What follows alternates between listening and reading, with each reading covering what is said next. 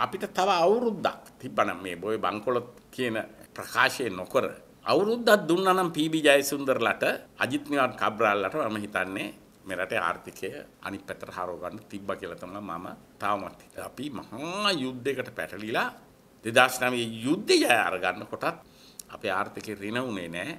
අපේ ආර්ථිකය 103ක ආර්ථික සංවර්ධනයක්. 2012 වෙනකොට අපි 9.1කට ගිය අපි ලෝකයේ දෙවෙනි වෙලා හිටියේ චීනයට විතර. ආසියාවේ හොඳම සුන්දරම ලස්සන නගරේ බාට කොළඹපත් වුණා. 2005 මහින්ද රාජපක්ෂ ජනාධිපතිතුමා රට බාර ගන්නකොට රටේ ණය ප්‍රමාණය දළ දේශීය නිෂ්පාදනයත් එක්ක ගත්තම 104ක් තිබ්බා.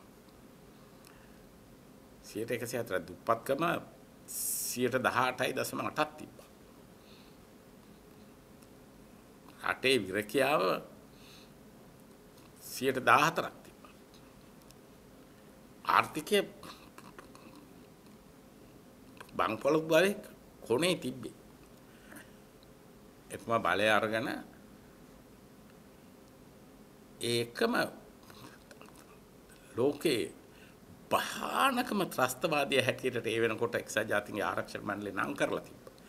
භයානක විතරක් නෙවෙයි ශක්තිමත් ධනවත් බලවත් කුරුළු ත්‍රස්තවාදී සංවිධානයට නම් කරලා තිබ්බා LTTත් එක්ක යුද වැදුනා. මානසික මෙහෙයුම් පටන් ගත්තා. මානසික මෙහෙමේ තීරණාත්මක අවස්ථාව එනකොට 2007 2008 2009 ආයි ලෝක ආර්ථිකය මහා පරිහානියක් ආවා.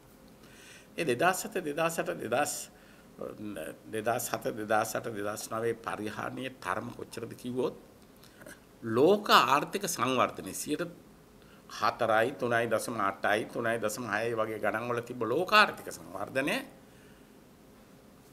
රීන තුඩයි දසම හතරට කිය. ලෝක ආර්ථිකය රීන වුණා දෙදස්නාවේ වෙනකොට. ඇබ අපි මහා යුද්ධයකට පැටලිලා දෙදස්නාවේ යුද්ධය ජය අරගන්න කොටත් අපේ ආර්ථිකය ඍණ වුණේ නැහැ. අපේ ආර්ථිකයේ 103ක ආර්ථික සංවර්ධනයක් තිබ්බා. යුද්ධය ඉවර වුණා 2010 වෙනකොට අපි 108ක සංවර්ධනයකට ගියා. 2011 වෙනකොට අපි 8.4ට ගියා. අපේ ආර්ථික සංවර්ධන වේගය 2012 වෙනකොට අපි 9.1කට ගියා. අපි ලෝකයේ දෙවෙනි වෙලා හිටියේ චීනයට විතරයි. ලෝකයේ දෙවෙනි වෙලා හිටියේ. 2013 ටිකක් පහළට ගියා. පහු 14 7.1කට ගියා. 15 7.1ක ආර්ථික සංවර්ධනයක් තමයි යහපාලනයේ බාර ඒ වෙනකොට අපිට අවුරුද්දකට අපි විශාල සංවර්ධනයක් කරා මුතුමලා දන්නවා. වරායවල් හැදුවා, අලුත් වරායක් හැදුවා, අලුත් ගුවන් තොටුපළක් හැදුවා, කටුනායක ගුවන් තොටුපළ ලොක් කරා, අධිවේගී මාර්ග හැදුවා. මේ මහා සංවර්ධනයක් රට පුරා කරන කරන ගමන් අපි රටේ ආර්ථිකයත් නැගිටෙව්වා. ඒ නිසා 2010 2015 කියන්නේ ආසියාවේ වේගින්ම සංවර්ධනය වෙච්ච රට අපි. දකුණු ආසියාව පැත්තෙන් ගත්තොත් රටේ අපි සාක්ෂරතාවෙන් දකුණු ආසියාවේ එක.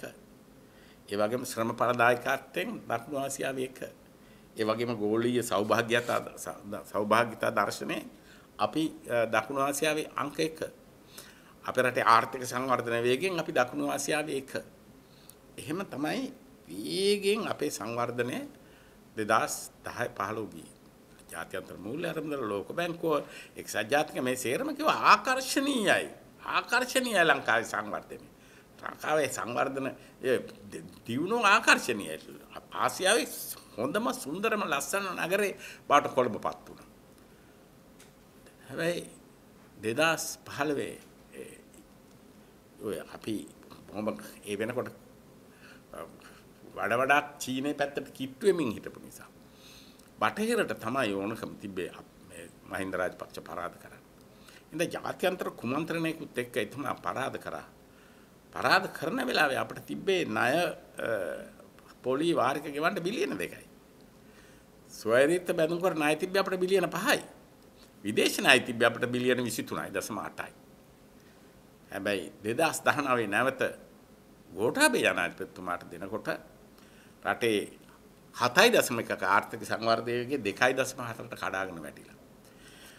බිලියන දෙකකින් ණය වාරික හා පොලිසියරම ගෙවලා ඉවර කරන්න පුළුවන් වෙලා තිබ්බ රටට බිලියන 6ක් බිලියන 6ක් වෙලා. සුවරිත බැඳුම් කර ණය 100ට 200කින් වැඩි වෙලා බිලියන 15ක් දක්වා පැතිරලා. ඒ නිසා ඇත්තටම මේ ආසියාවේ වේගෙම නැගි නැගී ආපු රට මෙහෙම ආපහු කඩලා දැම්මේ වෙන කවුරුන්නේ යාපානාන්. ඒකට ජනාධිපතිතුමා සහ ආගමැතිතුමාගේ එදා තිබුණු නිරන්තර අරගලේ මහ බැංකු මහා මගෝඩිය ඒ වගේම මේ මුස්ලිම් අන්තවාදීන්ගේ ප්‍රහාරය මේවා සේරමත් එක තමයි ආර්ථිකය අපේ කඩාගෙනම වැටුනේ. ගෝඨාභය ජනාධිපතිතුමා අතට ගන්නකොටම කෝවිඩ් වසංගතය. එතුමා කෝවිඩ් වසංගතය ලෝකේ චීනයට එක ලකුණකින් දෙවනි වෙන්න කෝවිඩ් වසංගතය ආදර්ශමත් විදියට පාලනය කරා. ඒ වසංගතය අපට ප්‍රශ්නයක් බවට පත් කරේ කවුද? ජනතා විමුක්ති පෙරමුණයි සමගි ජන බලවේගය. මිනිස්සු බලහත්කාරයෙන් මහරෑ මහ දවල් පිරිස් හැටියට මේ හතර දිනක් එකතු වෙන්න එපා කියලා තියෙන රටේ සෞඛ්‍ය හේතුම. හෙන්න සෙනග ඇදලා අරගෙන මහා ව්‍යසනයක් කරා ඒ වුණත් අපි එන්නත් දීම පැත්තෙමුත් ගෝඨාභය ජනාධිපතිතුමා ලෝකේ මහා බලවතුන් සියල්ලට ඉහළින් ගිහිලා ලෝකේ තාම සාර්ථකව එන්නත් දීපු ප්‍රධාන රටවල් පහ අතරට ලංකාව අරගෙන ගියා. හැබැයි ඒ කාලේ රට වහන්න වුණා. කර්මාන්ත වහන්න වුණා. සංචාරක වෙන එක සම්පූර්ණයෙන්ම වැටුණා. ඇගලුම් කර්මාන්තය සම්පූර්ණයෙන් වැටුණා. රටේ ආදායම සම්පූර්ණයෙන් බිඳුණා. රට තාම නරක තැනකට ගියා. මේත් මම හිතන්නේ අපිට තව අවුරුද්දක් තිබ්බනම් මේ බොය බංකොලොත් කියන ප්‍රකාශය නොකර අවුරුද්දක් දුන්නා නම් පීබී ජයසුන්දරලට අජිත් නිවාඩ් කබ්‍රාල්ලට මම හිතන්නේ මේ රටේ ආර්ථිකය අනිත් පැත්තට හරව ගන්න තිබ්බා කියලා තමයි මම තාමත් හිතන්නේ. කොහොම වුණත් අපි අද අපේ රටේ ප්‍රධාන ගැටලුව මේ ආර්ථික ව්‍යසනයෙන් ගැලවී. මේකෙන් ගැලවී. මේක මේක මේක මේක මේක මේක ගැලවීම සඳහා අපි පුළුවන් තරම් අපේ